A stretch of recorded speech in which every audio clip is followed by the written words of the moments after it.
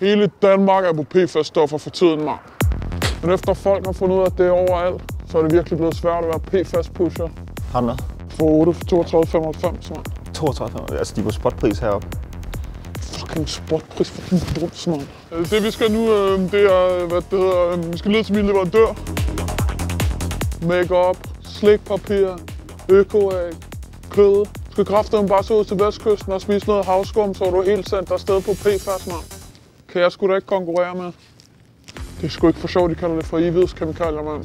Det der, det forlader aldrig din krop. Fuck, det lyder fedt.